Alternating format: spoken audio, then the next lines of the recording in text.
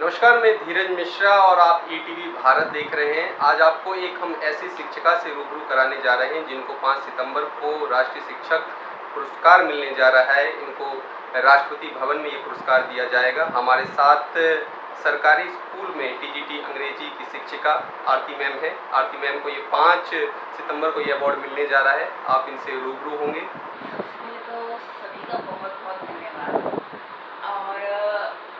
राष्ट्रीय जो है वो आ, मुझे ये बताता है कि जिस रास्ते पर मैं चल रही हूँ जो काम मैं कर रही हूँ बच्चों के साथ शिक्षा जगत में आ, सम, आ, समाज में काम कर रही हूँ शिक्षा को लेकर वो बिल्कुल सही रास्ता है और इसमें आगे बस चलते रहना है।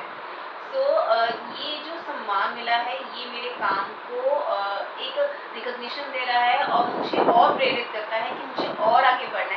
है साथ में ये मुझे एक ज़िम्मेदारी भी दे रहा है रिस्पॉन्सिबिलिटी दे रहा है कि जिस रास्ते पे आगे बढ़ चुकी हो, अब पीछे कदम मत उठाना और आगे आज लोग ये कहते हैं कि अगर आपको अंग्रेज़ी नहीं आती है तो आप जैसे अच्छी जगह काम नहीं कर सकते, अच्छी जॉब नहीं पा सकते। तो जो व्यूअर्स ये देख रहे हैं और आप अंग्रेज़ी की शिक्षिका हैं तो अंग्रेज़ी कैसे बेहतर करें?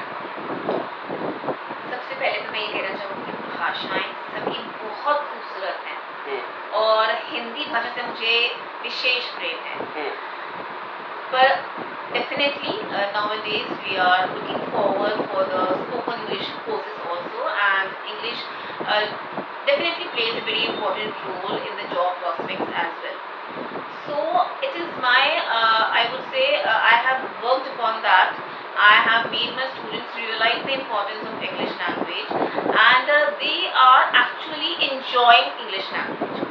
Instead of uh, thinking that it's a tough language, they were able to comprehend it and it's very difficult for them to uh, in, enhance their vocabulary and uh, know new things about. So, uh, but now uh, through the interesting ways of using puppets and uh, comic strips and role play, they are enjoying English language. इस award के बाद आगे की क्या future planning है शिक्षा के क्षेत्र में आगे और कौन कौन से कार्य करने हैं आपको शिक्षा का कार्य क्षेत्र बहुत बड़ा है बहुत विस्तृत है मैं कहूँगी तो आ, अपनी क्लासरूम से बाहर तो हम निकल ही चुके हैं समाज तक पहुँच ही चुके हैं।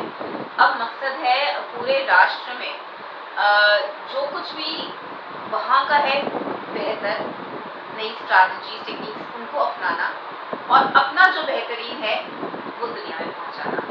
तो भारत के हर कोने में पहुँच कर वहाँ की जो लोकल कल्चर है, उसको समझ कर अप्रिशिएट कर कर उसको समझना और उसको अपने शिक्षा जो पद्धति है, उसमें शामिल करना।